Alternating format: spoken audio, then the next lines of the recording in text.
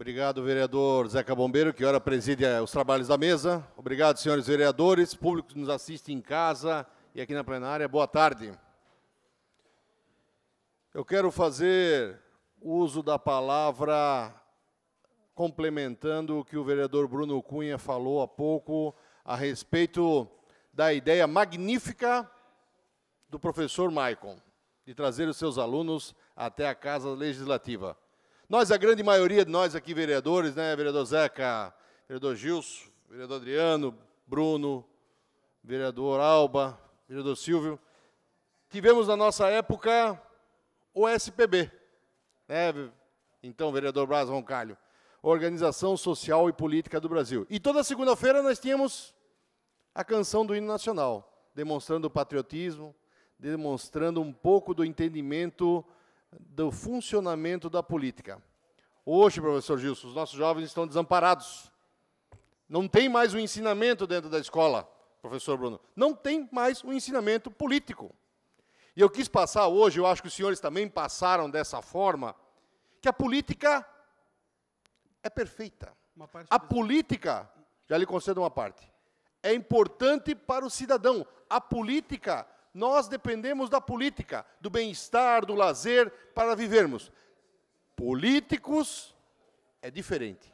Problemas com políticos. Vereador Alba, o senhor que é da, da área de direito sabe muito bem o que eu estou falando, que também tem problema. Vereador Marcelo Lazarim, na área de, de, da, da saúde também temos problemas. Só não podemos generalizar. A política é essencial para o bem-estar e para a vivência do cidadão enquanto brasileiro ou cidadão do mundo. Concedo a parte a Vossa Excelência. Com a parte agora concedida pelo orador, ouviremos o professor Gilson. Vereador Almir, quero dar os parabéns por trazer esse tema. Vou falar também na, na, quando for a minha vez.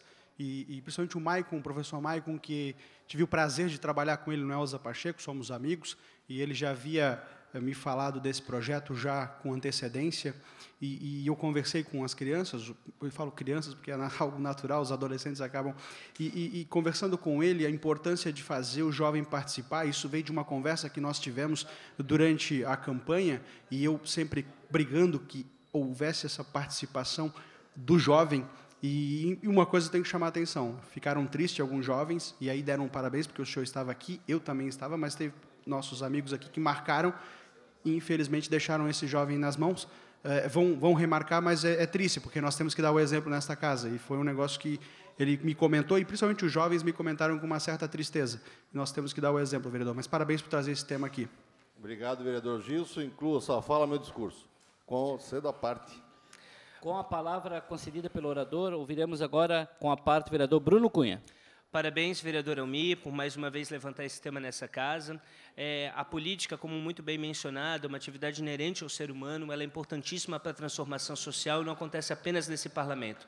Acontece em todos os ambientes da nossa vida. As nossas relações familiares são políticas, as nossas relações sociais, de uma forma geral, são políticas. E quando nós vemos, sobretudo, essa ressignificação da política, trazendo as novas gerações para acompanharem, para terem uma noção de cidadania, é fantástico. Então, mais uma vez, eu faço um destaque aqui e peço que essa casa e que nós, vereadores, de forma geral, sobretudo a mesa diretora, a gente possa pensar num projeto institucional junto com as escolas. E parabenizo os professores que fazem isso. Eu, enquanto professor, inclusive já trouxe meus alunos para audiência pública e tenho recebido no meu gabinete outros acadêmicos fazendo trabalhos universitários. Parabenizo de forma geral todos os professores que fazem essa mediação aqui com essa casa legislativa e lá fora, unindo a teoria com a prática, e faço esse destaque pedido para que mais professores também pensem em formatar. Isso é importantíssimo Obrigado, vereador Bruno Cunha. Incluo as suas palavras ao meu pronunciamento e solicito ao presidente desta mesa um tempo de mais quatro minutos para concluir. Devido aos apartes, eu lhe concedo mais quatro minutos. Obrigado. É, vou trazer um assunto agora que eu diria um pouco polêmico, vereador Alba. É, temos aqui nosso jornalista Carlos Toné, que sempre respeitou essa casa. Boa tarde também ao Toné. Mas eu me senti envergonhado esse final de semana quando abri uma página do Jornal de Santa Catarina e na matéria da página estava escrito vereadores bobalhões.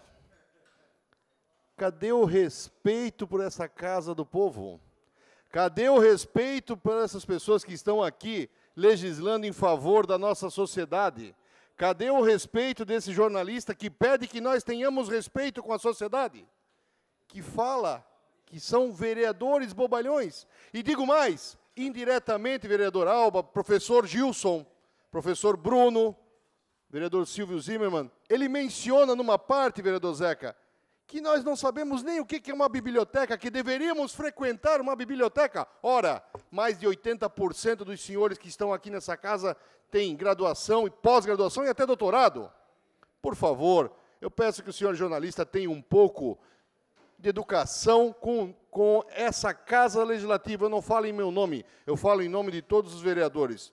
Eu peço que no momento que for fazer uma matéria, que analise Cada um tem o direito de defender a sua tese, porém, não tem o direito de ofender aqueles que estão aqui tentando mostrar e tentando esclarecer. Eu fui parceiro do, do, da fala do vereador Alba, porque não surgiu somente do vereador Alba, veio do Ministério da Educação e depois pediram cancelamento em todas as cidades. Blumenau não poderia ser diferente. Agora, cabe dizer que, além de sermos vereadores, nós temos família. E como é que um filho meu ou de algum dos senhores vereadores vai aceitar que uma pessoa chame de bobalhão? Se eu faço isso, eu estou fazendo assédio moral. Agora, o inverso, está tudo certo. Tem crime de incesto ali, vereador Alba. Várias outras situações que nós olhamos lá. O momento de deixar a filha trancada é cárcere privado. O senhor, como constitucionalista, sabe muito bem do que eu estou falando, é no artigo 148 do Código Penal. Então, senhores, se nada existe nesse livro, então, desculpa, nós somos realmente bobalhões.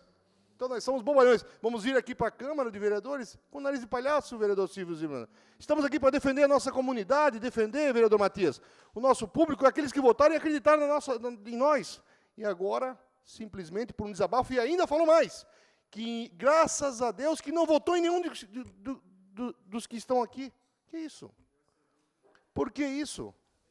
Por que tamanha raiva contra esse parlamento? Se tem algum problema, que venha aqui para conversar, vamos discutir, vamos acertar. Nós queremos o bem da sociedade, nós queremos o bem da nossa comunidade. Agora nós não podemos admitir, nós não podemos admitir isso. Nós não podemos deixar um jornalista falar dessa forma de nós. Eu peço que, que ele reavalie a sua fala e que, se ele quiser, é, enquanto mesa, eu dou o tempo necessário, nós damos aqui para ele poder falar e fazer a sua defesa da mesma forma democrática que nós estamos vindo aqui falar, muito bem falado pelo vereador Caminhas. Senhores vereadores, para essa tarde de hoje seria isso. Obrigado.